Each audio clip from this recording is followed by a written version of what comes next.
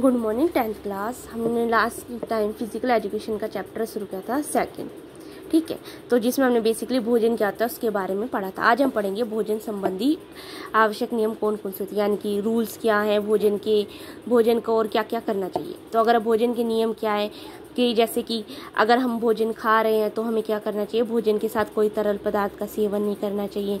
ना ही तो भोजन अधिक ठंडा खाना चाहिए ना ही गर्म खाना चाहिए। भोजन ऐसा होना चाहिए कि हमारी भूख भी बढ़े और उसमें सारे पौष्टिक तत्व प्रेजेंट हो।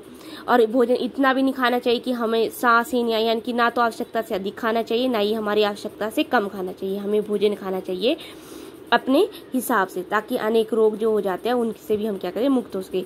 भोजन करते समय भी साफ़ सफ़ाई का भी ध्यान रखना चाहिए, भाई हमारे हाथ अच्छी तरीके से साफ़ हो, नाखून साफ़ हो, कपड़े भी ढीले और हल्के होने चाहिए ठीक है? क्योंकि कई बार क्या होता है, जैसे हम खाना खाते हैं तो हमारा पेट फटने, अगर कोट या पतलून पहन लेते तो आपको पता है, हमारे शरीर जकड़ा जकड़ा हो जाता है। तो हमारी पाचन इंद्रियों को कहता काम करने में बाधा आती है, हमें खाना पचाने में भी दिक्कत होती है, ठीक है? तो इस तरीके से कई बार जैसे खाना वगैरह हम बनाते हैं तो हमें क्रोध नहीं करना चाहिए फिर बहुत अधिक घी और तेल वाला भोजन नहीं करना चाहिए तेल ये वो क्या करते हैं, हमारे हार्ट को नुकसान पहुँचाते हैं। हमें रात को सोने से दो घंटे पहले खाना खाने लेना चाहिए, ताकि वो हमारा भोजन क्या सोने से पहले ही पच सके। हमें बासी भोजन नहीं खाना चाहिए। भोजन के हमें तुरंत बाद व्यायाम नहीं करना चाहिए या व्यायाम के तुरंत बाद हमें भोजन नहीं करना चाहिए। और भोजन के करते समय हमें क्या करना है पानी कम पीना चाहिए। और भोजन अगर अगर आपको पानी पीना है तो भोजन से आधा घंटा पहले या फिर भोजन के एक घंटा बाद आपको पानी पीना चाहिए। भोजन जिस भोजन को कोई दूसरा खाता उसको मत कर यानी कि हमें झूठा भोजन नहीं खाना चाहिए। हमें दांतों को, अगर खाना खा लिया है तो हमें दांतों को साफ़ कर लेना चाहिए कुल्ला वगैरह करना चाहिए। फलों को खाने से पहले धोना चाहिए।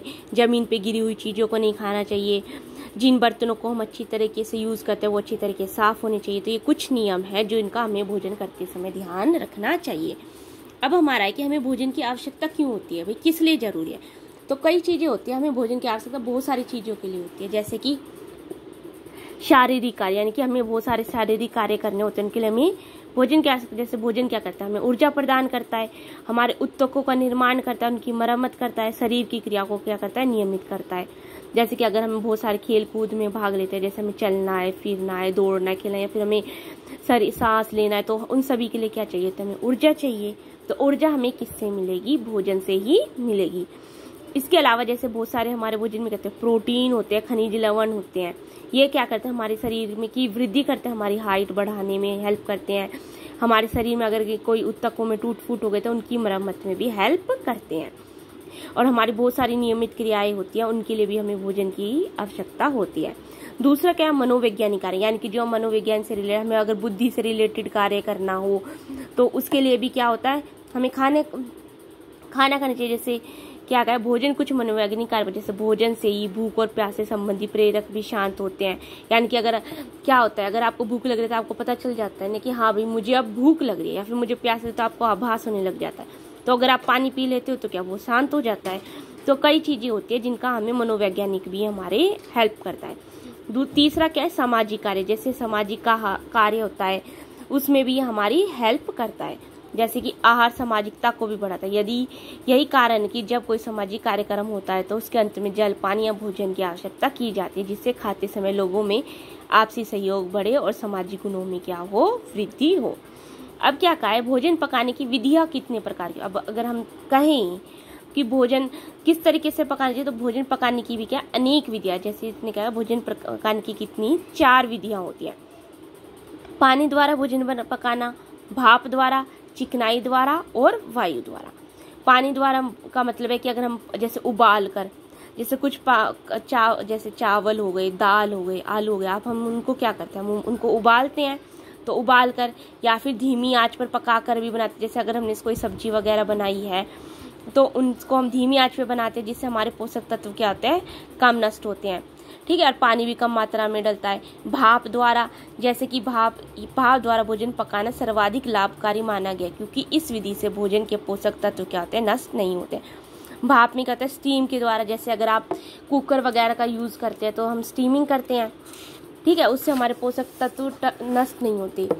और बर्तन ऐसे भाप से बने मतलब विशेष प्रकार के बर्तनों का क्या करते हैं, उपयोग किया जाता है। जैसे कि अगर आप भाप से बनाने के, जैसे अगर मैं आपको एग्जांपल दूँ मेन जैसे हम इडली बनाते हैं। इडली बनाते हैं या फिर हम ढोकला बनाते हैं तो क्या करते हैं, हम अपने खाने को तो बर्तन में रख देते हैं। पानी रख दिया, पानी को उबल के रख उबलने हुए पानी में हम उसको रख देते हैं। तो वो पानी क्या, उबलता है और स्टीम बनती है, भाप बनती है और उसी से क्या होता है, वो खाना बनता है तो वो क्या होता है? स्वास्थ्य के उसके तत्व तो एक तो नष्ट नहीं होते, दूसरा वो खाने में क्या होता है? हल्का होता है। तो इस तरह, और दूसरा क्या है? प्रेशर कुकिंग, यानी कि प्रेशर कुकर का हम यूज़ करके भी बनाते हैं, जिसमें बर्तन को ढककर बंद कर दिया जाता है, और भाप के दबाव के कारण हम बनाते हैं। इससे भोजन हमारा शीघ्र बन जाता है, और पोषक तत्व भी नष्ट नहीं होते हैं। चिकनाई द्वारा, यानी कि जैसे अगर हम तेल या घी के द्वारा बनाते जैसे अगर हम घर में पकौड़े बनाते हैं पूरियाँ बनाते हैं, कचौड़ियाँ बनाते हैं या भटूरे आ अगर आप कितनी भी चीज़ें, वो हमारे किससे बनती है? तेल में बनती है। तो ये सभी क्या होती है? स्वादिष्ट तो होती है, पर इनमें क्या होता है कि इनको बनने में देर लगती है, जिससे इसके स्वास्थ्य के लिए लाभकारी नहीं होता। ठीक है? तो ऐसी चीज़ों को हमें बहुत कम खाना चाहिए कभी कभी खाना चाहिए। वायु द्वारा, वायु के द्वारा की भी दो विधियाँ यानी कि भूनना, रोस्टिंग और बेकिंग। रोस्टिंग ये था जैसे आपने देखा होगा कि कई जैसे ग्वार है, ज्वार गर्म राख पर आपने देखा होगा कि हम बैंगन, अरबी शकरगंदी जैसे आदि चीज़ों को भून लेते हैं। तो उससे भी क्या होता है, खाना पक जाता है और दूसरा क्या है, बेकिंग। जैसे कि हम केक वगैरह बनाते हैं तो उसमें बेक करते हैं ना। भोजन पकाने की इस विधि में भिट्टी या चूल्हे का प्रयोग किया जाता है। जैसे डबल रोटी बनी रोटी बनी, बिस्किट बनाया आपने, केक बनाया तो वो सभी क्या होता है, बेकिंग में की विधियाँ है। इससे भी भोजन पक, जल्दी पक जाता है।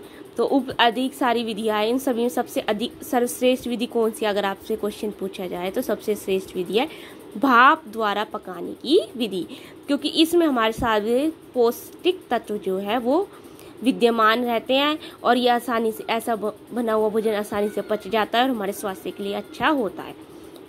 अब ये कहते हैं कि भोज, अब ये आता है हमारे शरीर, दिमाग में भाई, अब हमने भोजन पकाते क्यों? हम कच्चा क्यों नहीं खा लेते? तो ऐसा क्या है? और हमें कौन कौन सी बातों का ध्यान रखना चाहिए?